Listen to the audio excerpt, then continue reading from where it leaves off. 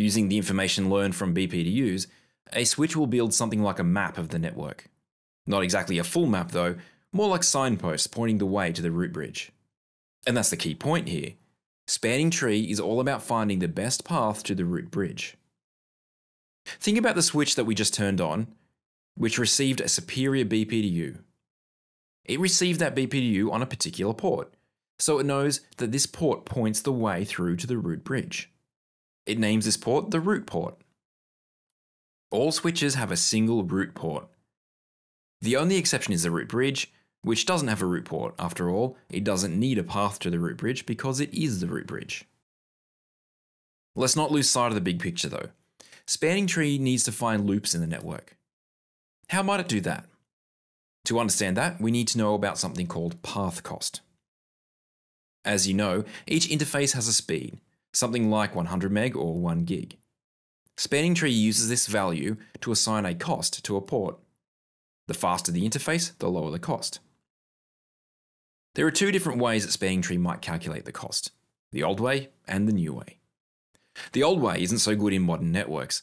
It was developed way back when all interfaces were slow by today's standards. These days, as most interfaces are fast, the cost looks very similar on all ports.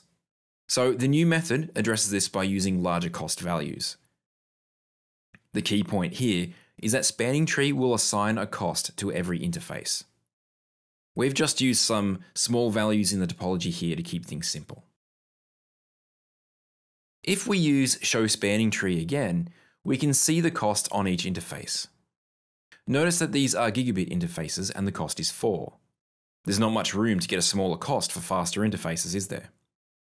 So we can change the path cost method to long. This is done in configuration mode with the spanning tree path cost method long command. When we look at the costs again, see how they're much bigger? That doesn't mean that the costs are worse than before, it just means they're calculated differently. Faster links will still have smaller costs, and slower links will still have larger costs. Remember that in the original spanning tree, the root bridge continually sends BPDUs. The directly connected switches can see the cost of the interface they receive the BPDU on, and therefore they'll know how far away the root bridge is. They forward the BPDUs on, but only after they have added this path cost to the message. When the next switch receives this BPDU, it will add the cost of its own interface to the value in the BPDU. Now it knows the distance to the root bridge as well, and also knows which port is closest to the root bridge. If there is more than one path to the root bridge, it can now also know which is the best path. The port connected to the best path is called the root port. And remember, there can only be one root port per switch. It acts like a signpost pointing out the direction and the distance to the root bridge. These two questions should help to see if you've understood this section. If not, it might be a good idea to have a quick review before going on to the next part, as you really need to understand root ports and path costs for the next section.